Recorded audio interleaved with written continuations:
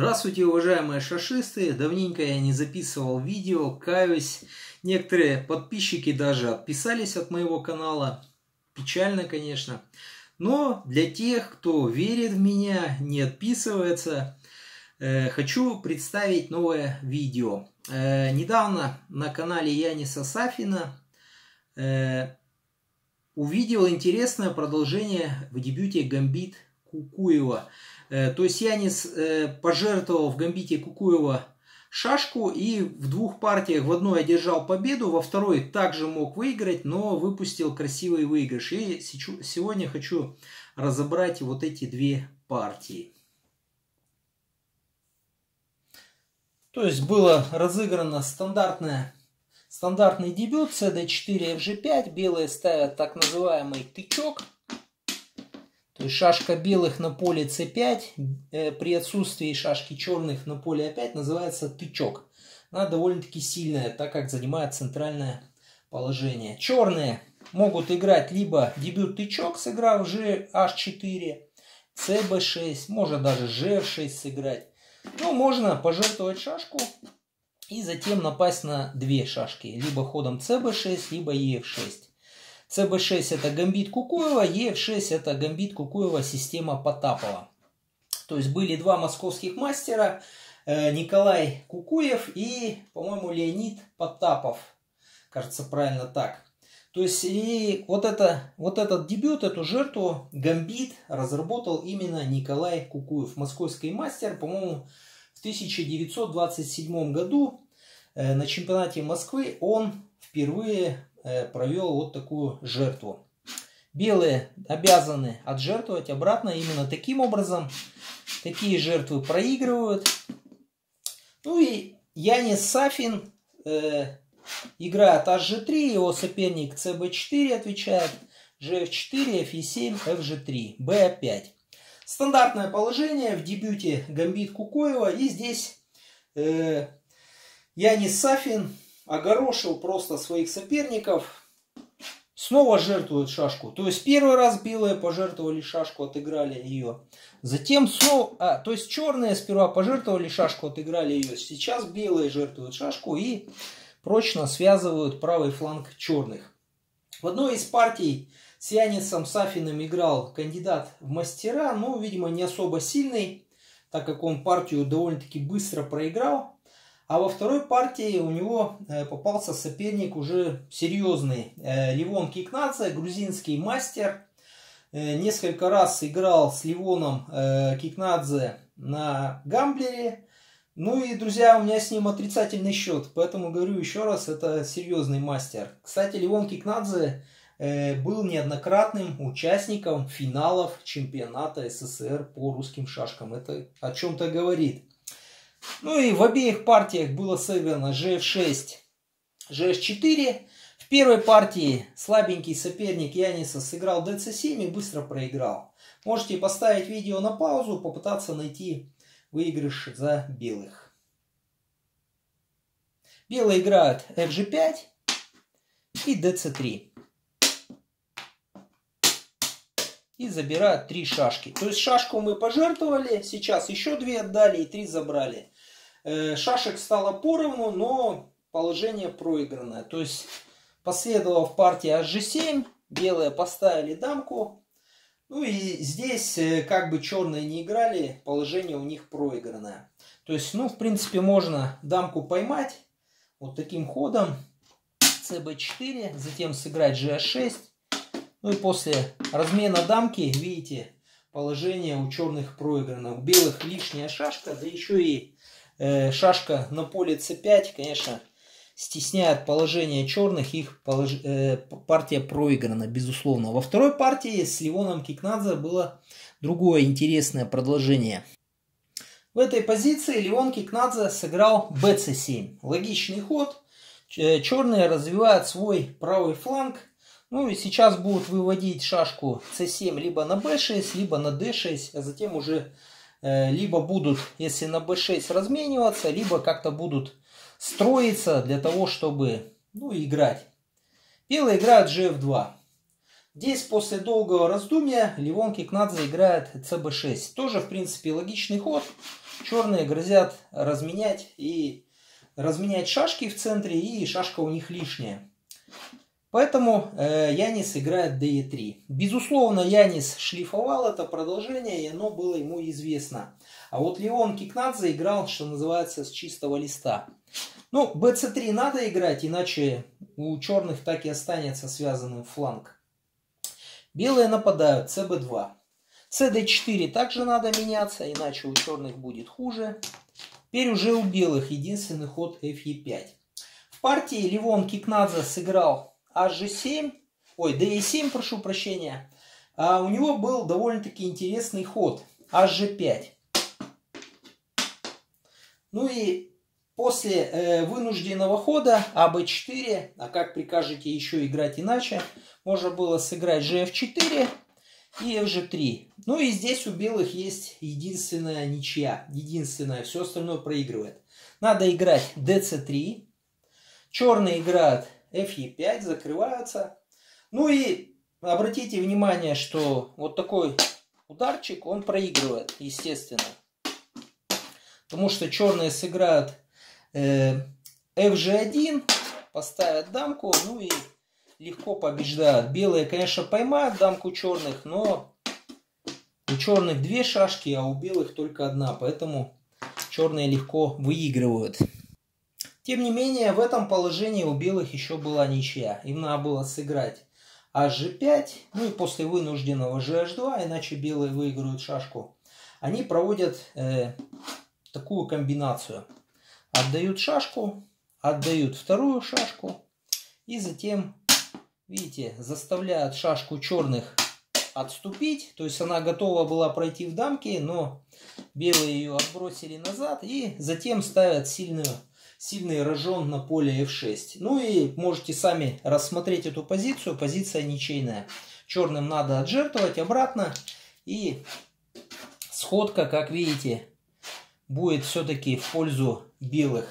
Позиция э, ничейная тут. Ну, тут не c5, конечно, тут на a5 надо играть, да. И после такого хода уже обе стороны взаимно проходят в дамки. Ничья. То есть после, в принципе, хода hg5 у черных была инициатива в игре. Э, Левон Кикнадзе же сыграл э, d7. Ну и лучше всего побить именно вперед, потому что назад бить э, пассивно у белых будет приятнее позиция. Белые без шашки, поэтому надо ее отыгрывать. В партии последовало АБ6 и ЕД6. Все логично. Ну, э, что бросается в глаза? У черных переразвитие, но шашки белых стоят довольно-таки, э, так сказать, э, твердо. То есть подвинуть их как-то непонятно, как атаковать где. Поэтому и инициатива здесь в этой позиции все-таки у белых. Она приятнее позиция. После нападения DE3 черные закрылись BC5. Все верно. И затем белые сыграли EF4. В этой позиции было несколько продолжений на ничью. Э, можно было сыграть FE5, как и сыграл э, Ливон Кикнадзе, либо а, пожертвовать шашку ходом DE5. Ну, естественно, АБ4 не пойдешь из-за BC3. Как еще сыграть? Ну, в принципе, CB4 тоже не пойдешь, потому что GF4 просто и FE3 выигрывают белые. Ну, после DE5, как, как могла быть ничья? Можно, конечно, было сыграть потом FG3, допустим, FE5, B3. Черные бы разменялись назад, но там у белых даже приятнее. В этой позиции проще всего белым бы э, отжертвовать шашку обратно, вот таким образом. Ну и тут уже как бы черные не играли, ничья белым гарантирована. Но Ливон Кикнадзе сыграл все-таки FE5. То есть в этой позиции вместо жертвы DE5 Ливон сыграл FE5. Все-таки жертва там уже форсированная ничья. Видимо, хотел выиграть. Белые закрылись. Ну, кроме того, у Ливона Кикнадзе уже в этой позиции был Э, цейтнот, то есть недостаток времени, он уже торопился. В этой позиции лучше было пойти, конечно, АБ4, ну и там ничья была вполне достижима. Вот после ЦБ4 уже возникли проблемы. Белые напали. Ну, как видите, закрываться нельзя, потому что будет проигрыш. Приходится идти дальше. И белые играют ЕФ2 спокойно. Теперь как играть? Остается единственный ход, cd2, и белые выигрывают шашку. Вот таким образом. Ну и тут, как ни странно, э, ничья ведет только hg5. А вот ход d5, как сыграл э, Левон Кикнадзе, он проигрывает. И проигрывает довольно-таки красиво. То есть в партии последовало затем АБ4, hg5, cd4. Ну и после того, как черные побили на c3, ну сюда бить бесполезно, черные пройдут замки, надо бить 2. cd2 играют, опять видите, отбрасывать бесполезно, черные все равно пройдут замки, поэтому э, белые сыграли hg5.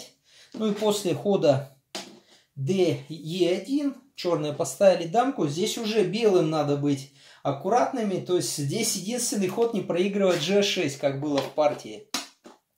И hg7. То есть обратите внимание, в этой позиции, если отойти, пытаться спасти все три шашки, черные еще выиграют. То есть займут большую дорогу и можете сами убедиться, ничей у белых нет. То есть партия закончилась после g6 в ничью.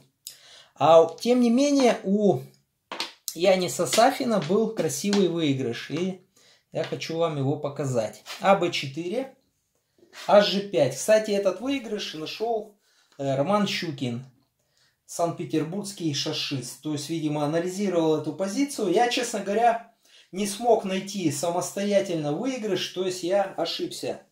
Мне на ум пришел вот такой вариант. Сюда, сюда, АБ2 и э, ЕФ4. Ну и здесь, э, обратите, ну, прошу прощения, FE3, да, правильно. И после HG3 я хотел играть EF4. Э, Здесь выигрыша нет, потому что GF2 побили. Черные ставят дамку именно на G1, то есть сюда нельзя ставить, потому что дамка ловится. А вот сюда ставят черные. Ну так уже нельзя играть, белые еще проиграют, надо жертвовать. Черные бьют, белые ставят дамку. Вроде бы грозят поймать.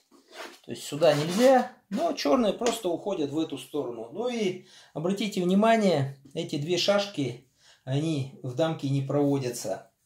То есть э, эта позиция э, выигранная, ой, прошу прощения, ничейная за черных. То есть если белые будут ходить сюда, ну мы просто сюда, сюда, обратно ушли. А эти шашки никак не провести. Тем не менее, в позиции был выигрыш. То есть в этой позиции после HG5 так, так, FE3, все-таки здесь именно был выигрыш. Можете поставить видео на паузу и попытаться его найти. Неожиданный ход делают белые, белые жертвуют шашку. То есть у них шашка и была лишняя, и они ее, так сказать, отжертвовали. В который раз уже, да, уже третий раз получается. Э, нет, второй раз в этом дебюте ну и белые просто нападают тихим ходом. Е4 надо отходить. Белые проходят дамки. Ну и куда бы черные не ставили дамку, если сюда, просто пошли в дамки.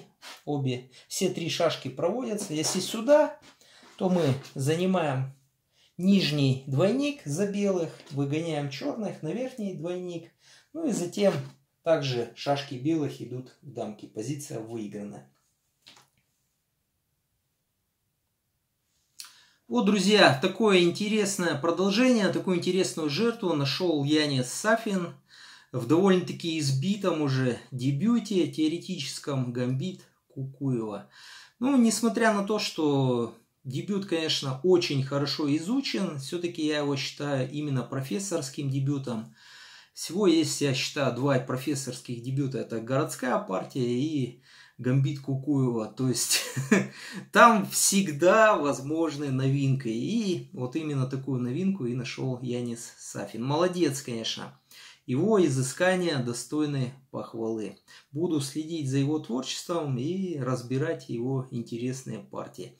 Если вам понравилось данное видео, данный разбор партии, можете поставить большой палец вверх и подписаться на канал. Пишите ваши комментарии, задавайте вопросы, если вам что-либо не ясно, отвечу на все вопросы. До свидания.